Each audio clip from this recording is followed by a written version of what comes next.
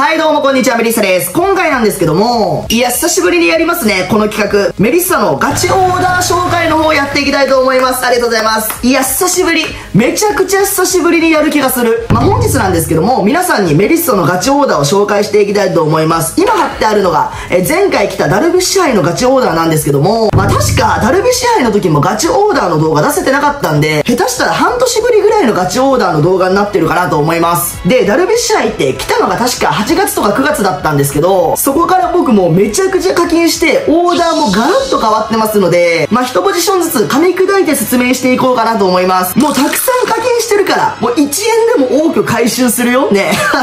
ガチオーダーで擦りまくるからね。こすってお金回収します。まあ、あの、課金額は違うかもしれないんですけど、皆さんにオーダーの組み方の参考にしてもらえれば、えー、嬉しいかなと思います。ってことで、えー、キャッチャーの方から見ていきたいと思います。ガチオーダー。どうぞ。はい、ということで、まずキャッチャーの方から見ていきたいと思います。キャッチャーは坂倉選手使っていたんですけど、最新のガチオーダーでは、坂倉選手を使っております。こ こだね。僕もキャッチャーは坂倉信者なので、ここはね、向こう5年は変わらない可能性ありますね。なんといってもこの特殊能力と弾道の安定感がレベチですよということで、キャッチャーは坂倉さん、そのままままでございます。続きまして、ファースト。ファーストはずっと落合選手を使ってきたんですが、とうとう落合選手を外す時が来ました。代わりの選手がこちら。はい、ジャイアンツ、大貞治選手でございます。いや、もうずっと落合さんを使ってきたんですけど、まあ現在の環境は4700の山本由伸選手やマー君、藤波選手などがいらっしゃしゃいますので、まあスピリッツといった意味で一時的に大阪春選手を使っていきたいかなと思っております。まあ同じスピリッツなら、まあ同じスピリッツなら落合選手を使うんですけどね。まあでも大貞治選手も落合選手に負けず劣らず、弾道アーティストのミパへ、さらに福祉で守備 B ということもあり、まあ落合選手にない強みを持っているのが落合、王選手かなと思っております。続きまして、セカンドショートは変わらずですね、この2人の守備力はやっぱり化け物なんで、まあ今回も二遊間に代打構成は変わらずやっていきたいかなと思っております。続きまして、サード。サードもずっとね、ノリさんを使ってきたんですが、ついにノリさんの牙城も崩れました。代わりに使っていく選手は、こちら。はい、ガッツですね。いや、まさかまさかでしょ。まあ、スピリッツやっぱ300の差があるので、まあ、ノリさんのね、守備力、やっぱそこ買いたいとこではあるんですけど、まあ、パワー強化の恩恵を一番受けたガッツをちょっと使ってみようかなと思っております。まあ、ノリさんがスピリッツ4500になったらノリさんに戻すかもしれないんですけど、まあ、2ヶ月ぐらいはガッツ使うかな。弾道パワーヒッターで、ミート B、パワー A ので、守備 B、裏捨てが弱いのがね、ちょっと残念なとこであるんですけど、範囲はね、ノリさんに負けず劣らずだと思うんで、ここはまあ、うん、頑張ってほしいですね。で、超パワーヒッター、広角フルスイングと特能がめちゃくちゃ強い。まあ、現環境最強サード、スピリッツコールして最強って考えて、まあ、いいんじゃないかなと思っております。続きましてレフト。レフトはね、飯田さんに代打ギータという形をとっていたんですが、代わりに使っていく選手は、この選手でございます。はい、広島カープ、ランキングで獲得した山本浩二選手でございます。いや、もうここは文句ないでしょう。数ヶ月の間はガチオーダー、レフト山本浩二選手固定していきたいと思います。なんて言ったってこのステータスですよね。ミート A、パワ A、走力 B に、守備力見てください。レフト B 可能にセンター A 可能。裏捨ても A、B、A ということで、まあもう皆さん山本浩二選手の強さはもう今回で知りましたよね。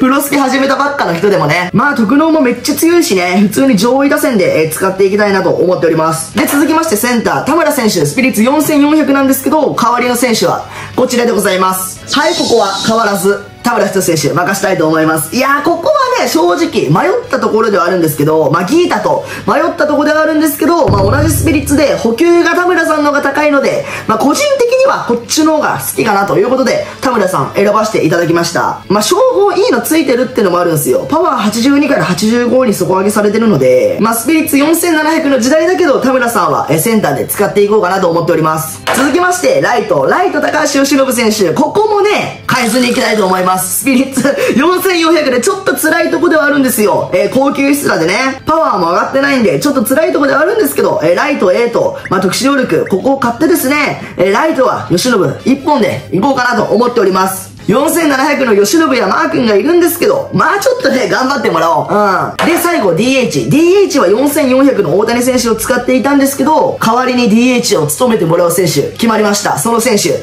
こちらでございます。はい、ヤクルトスワローズ、エキサイティング、サンタナ選手でございます。ここ意外なんじゃない？まあね、最後の最最後まで4700の岡本選手と迷ったんですよ。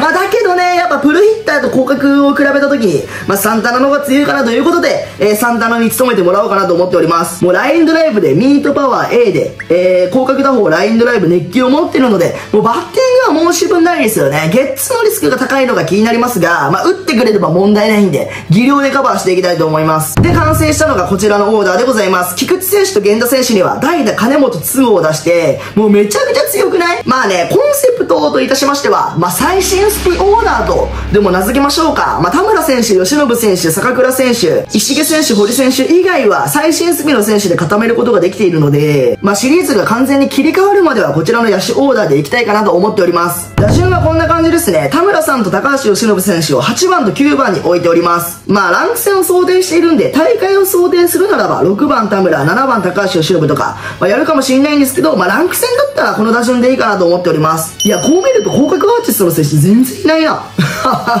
いやー、まさかこんなオーダーが来る日が来るとはね。で、投手陣はこんな感じでございます。えー、吉信さんから伊藤友さんまでは、まあ、最新スピリッツ、まあ、4600以上ですね。で、中津行祭には松井裕樹、大谷藤川、高津木沢村田と、まあ、なかなかちょっと変則的ピッチャーを集めてつもりなんですが、まあ、先発抑えは結構候補がいますよね。まあ、ここはね、いろいろパリーグ杯などやりながら模索していきたいなと思っております。以上が私ベリストのガチオーダー解説だったんですが、いかがでしたでしょうか？いや、意外なオーダーの組み方してんじゃない？もう、ノリさんと落合さんが外れるなんて考えれなかったっすからね。まあ、また戻ってくるとは思うんですけど、まあ、少なくとも年末ぐらいまではこちらのオーダーでやっていきたいと思っております。まあ、話してばっかもあれなんで、100分は一見にしかず、1試合目のランク戦でやっていきたいと思います。どうぞ。と、その前に、大貞治選手の称号チャレンジやっていいですか？パワー89からパワー S チャレンジやっていきたいと思います。まあ、パワー89で止まってるのもちょっと尺なんでね。はい、かっこよく、パワー S 決めていきたいと思います。はい、この1枚しかないです。はい、ラック。頼むよ、王さん。パワー S。うわ、あちょっと待って。あれ？っと待って。ちょっと待って。ちょっと待ってちょっと待ってちょっと待ってちょっと待ってよダサダサ世界一ダサい大貞治選手決まっちゃったって。いや、マジか、電光石火。なんか王さんのこの写真踊ってるみたいだな。こうやって。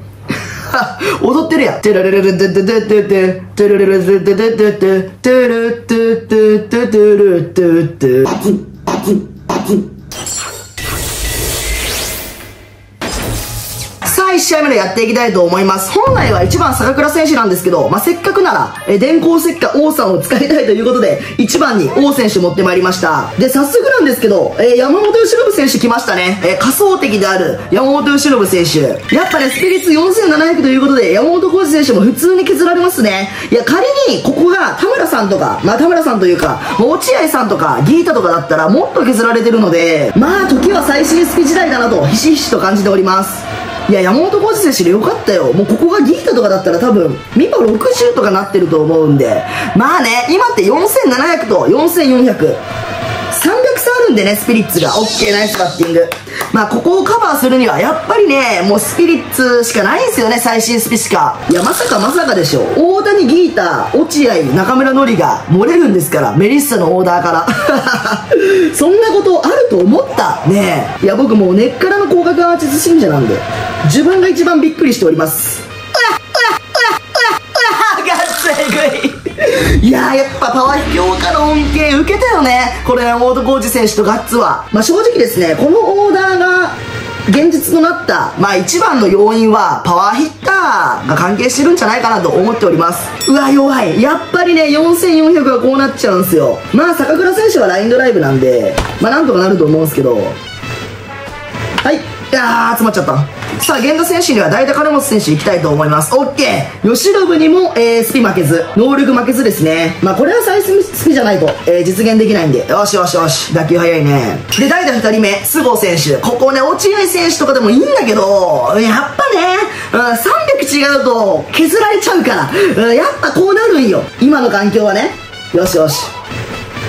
オッケーよく見た。さあ、3-2。はい、超えるっしょ。よしよしよしよしよしよし。選手直撃ね。いや、4700の吉信、打ちづらいけど、抗ってるよ、こっちのオーダーも。やっぱ現環境の仮想敵は4700のマー君、吉信、藤波さんになってくるので、まあ、4700の藤波さんをね、まあ、4400の選手で打てる自信がないので、まあ、こういうオーダーが理想なんじゃないかなと思っております全然早い。やばい、王さんと山本浩二選手の特使やってないけど、これ怒られるね。いやちょっと動画でやるか、王さんとコーチさん特集。やるのすっかり忘れてたわ。うん、ちょっと次の動画でやろう。ショート動画でやろうか。よしよしよしよし。もう全然押してるもんね。落合選手。いや、落合選手も意外といけるか。300差でこんな能力。いや、落合さんが逆に改めて化け物だと感じるよね。やっぱでもさ、こういうオーダー組めるってなったのはパワー強化のおかげですよね。もう、コージさんとかガッツとかパワー強化前はあんまり日の目を浴びなかったので、まあ、コナミさんナイス調整かなと思っております。まあ、これはさ、コナミさんと我々ウィンウィンなアップデートだったんじゃない？パワーヒーの強化が来たことによって、まあ、いろんな選手使えて、まあ、課金もするし、まあ、いろんな選手も使えるしで、もうウィンウィンな、アップデートだったんじゃないかなと思います。ってことで、王選手。王選手1打席目ちょっと軽率に行ったから、ここはいっぱい打ちたい。OK。ここはちゃんと打ちたいね。パワー89。ダサい。ダサいなはい。いや、もう最悪。王さんさんダサいね電光石火。オッケー。はい、コーチさん打ちやすいね。2打数2安打。いや、ーストライナーゲッツいらなかった、マジで。さあ、ガッツ。まあ、ノリさんがサードに入ったらまたオーダーも変わってくるんでね。はい、ガッツ2打席連続ホームラン。強すぎるパワーヒッター。素晴らしい。で、4番サンタナ。オッケー。うわー、嫉妬はさすがに捉えるよ。オッケー。素晴らしい打球速度。で、坂倉。おい。オッケー。素晴らしい。お、6番に回ってきましたね。石毛選手。石毛選手初打席です。まあ、石毛選手もスピ解放してショートで1本でもいいんですけどね。オッケー。いや、打ちやすい。いやー、ファールか。オッケー。いやー、素晴らしい。いやー、石毛選手最新スピード、もう500差ぐらいあるんだけど、打ちやすいわ。オッケー。いやー、全然ボールかい。ということで、ゲッツーに打ち取って、吉野選手完封していきました。まあ、このオーダーについて意見ありましたら、コメントでよろしくお願いします。ということで、ご視聴ありがとうございました。